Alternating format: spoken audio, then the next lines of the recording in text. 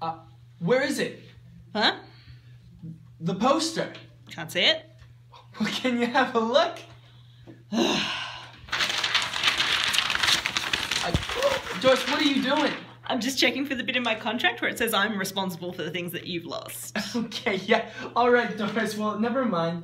Don't worry about it. We'll just have to do without. Can you just hit record? Fine. Home selling jokes, but you know, whatever. Just hit record. Just hit.